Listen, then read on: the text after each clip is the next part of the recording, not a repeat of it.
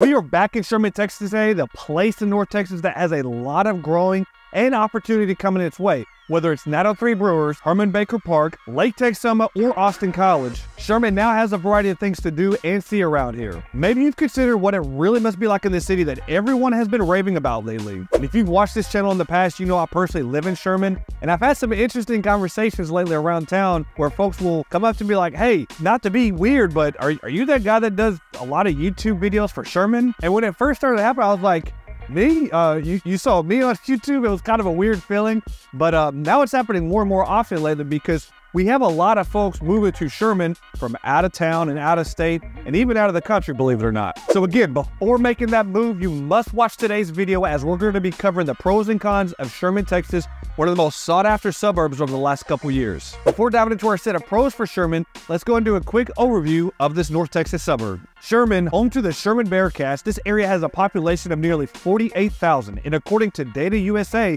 Sherman saw a 1.8% increase in population from 2021 to 2022, and it continues to expand. With people moving from south, and what I mean by the south, I just mean south of Sherman, like McKinney, Frisco, Dallas, Plano, all of that. But Sherman's quickly becoming a place to be to kind of get away from the fast-paced and congested lifestyle. Sherman is approximately 70 miles from Dallas, which has become one of the biggest hotspots for families, and it still has that small town suburban life feel, which is perfect for escaping the chaos of the big city. But if it gets a little too boring around here, the city life is something you must have, then no need to worry. Sherman is no more than 80 miles from several Dallas hotspots, including AT&T Stadium, home of the Dallas Cowboys, and many major events throughout the year. We're also a short distance to Globe Life Park, home to the world champion Texas Rangers, American Airlines Center, obviously home to the Dallas Mavericks and Dallas Stars, and then Hurricane Harbor and Six Flags over Texas. And then if you're into scoring big, you're less than 30 miles away from a world-class casino over at Choctaw Casino and Resort. This is in the very southern tip of Oklahoma and one of the biggest draws for local attractions. We have 100 table games, 7,400 slot machines, a state-of-the-art poker room,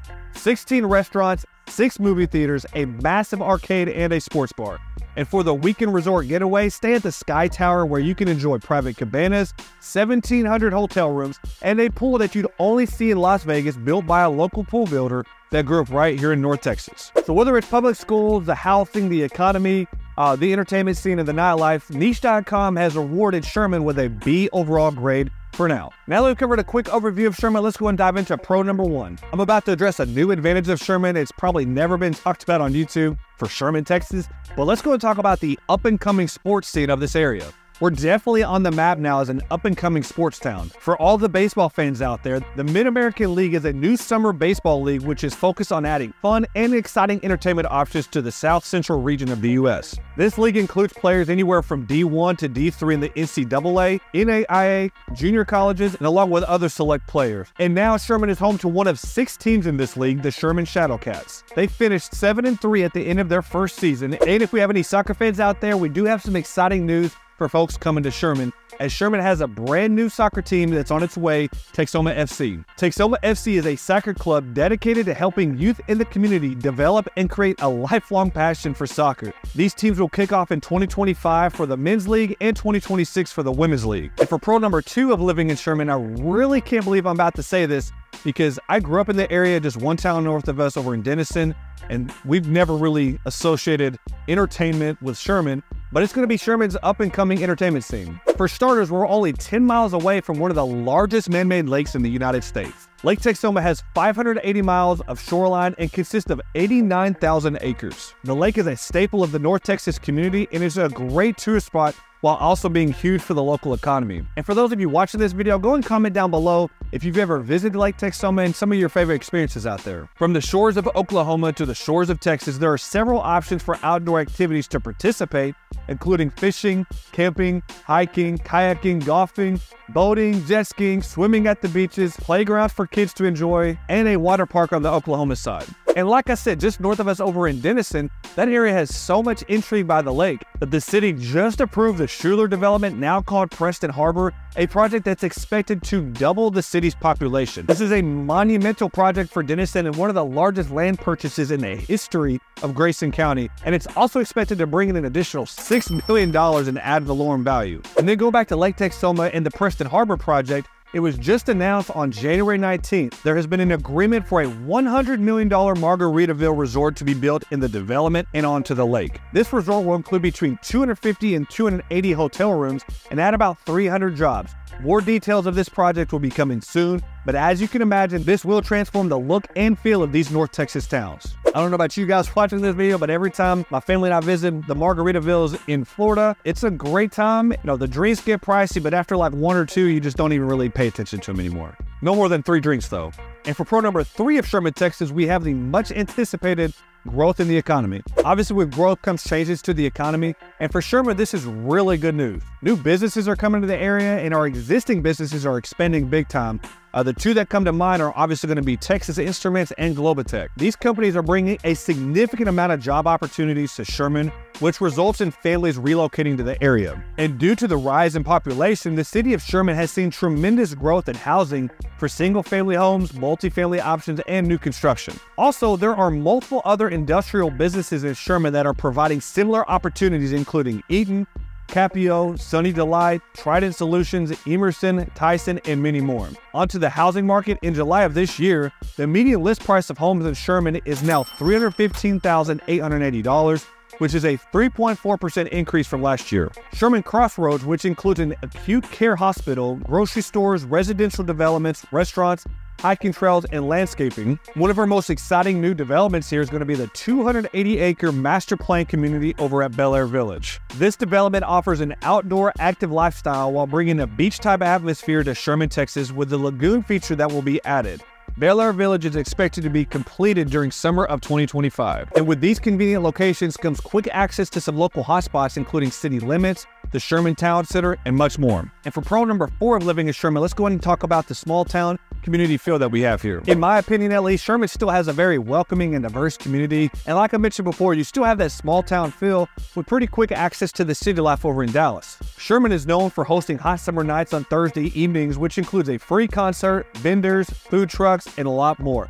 We also host family friendly events like art festivals, parades, and farmers markets year round. And for pro number five of living in Sherman, this is another thing I haven't really talked about in my previous Sherman videos, and that's going to be the access to colleges nearby. Sherman is home to Austin College, which has a student population of approximately 1,400 students. This allows for more personal connection with the peers and faculty there. They are a private college, so they do tend to be a little more costly than the other colleges, they also have NCAA Division III athletic teams that compete in 10 different sports. Also, 149 student athletes received all conference academic honors this past year. If you head just north on 75 over to Denison, you're going to have the local community college over at Grayson County. That is where I got my associate's degree, so I am a proud Viking but it's a lot more affordable. You still have a lot of recreational and cultural opportunities there.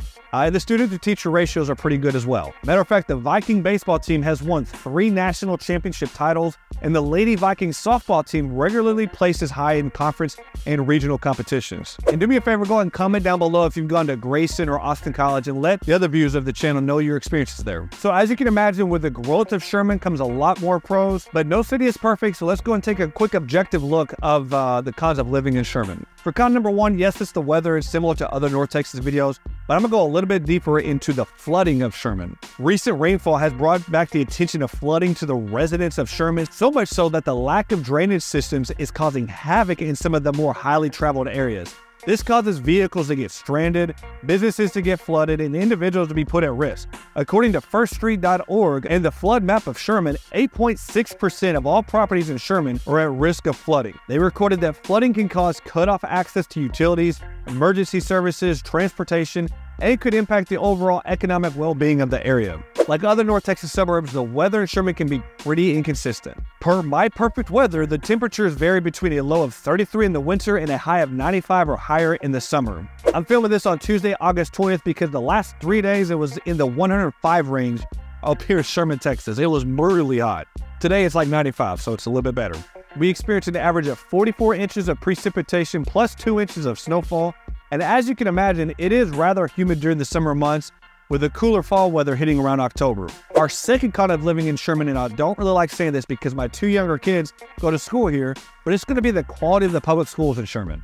Sherman ISD was graded an overall B by Niche.com, and the school district has around 7,850 students and is the largest and fastest growing public school in Grayson County. It's predicted that Sherman ISD will be serving around 9,300 students by 2028. They do look to build on their reputation for academics, community support, and Bearcat pride in the district. SISD was rated number 75 of 1,061 on most diverse schools in Texas, which they received an A on. Sherman does have one high school, two middle schools, seven elementary schools, and three learning centers. As a realtor, I really can't dive too far into the school path or talk too highly or too low, uh, but just do your own research and you'll kind of see what I'm talking about uh, with Sherman's academic reputation. Our third con of living in Sherman is going to be the ongoing construction projects around the area. With all the growth coming to Sherman, the construction has created congestion and traffic on Highway 75, FM 1417, and Highway 82 and the local roads as well. For any of us living in Sherman or at least traveling through Sherman, you know that the, the traffic times or the drive times uh, getting in and out of Sherman has become brutal lately. The good news is the infrastructure development should be finished soon, and it will be well worth the headache of having to sit in traffic and avoid the traffic cones and concrete barriers. And for our last count of living in Sherman, let's address the crime and safety factors here. The crime and safety of Sherman was graded a C minus according to niche.com. This is based on violent and property crime rates. It is higher than the national average across all communities in America. Now, though there isn't a significant amount of violent crimes within Sherman, uh, there's a lot of petty theft, car theft, burglary, uh, and just stuff that, that, that makes it a, a pain in the butt. So guys, let's get to close this out on the pros and cons of living in Sherman, Texas. If you made it to the end of the video, thank you so much for watching. I truly appreciate it. If you have any questions about Sherman, would like a tour of any of the homes here, please don't hesitate to reach out to me. All of my contact info is pinned in the top comment below. Go ahead and like the video, subscribe to the channel, please. And lastly, if you want to see what another great North Texas suburb is like, check out this video by clicking here.